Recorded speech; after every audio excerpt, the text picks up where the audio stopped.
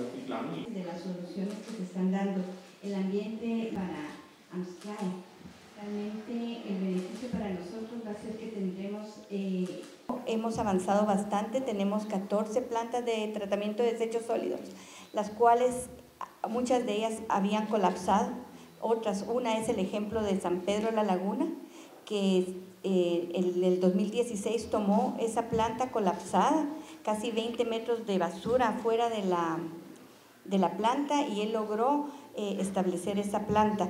Eso le ayudó, lo que ayudó mucho también a eso es la educación. intervención se refiere más a generar estrategias productos como diseños y campañas, esa protección del agua de Atitlán, como, como este tema de la pajilla.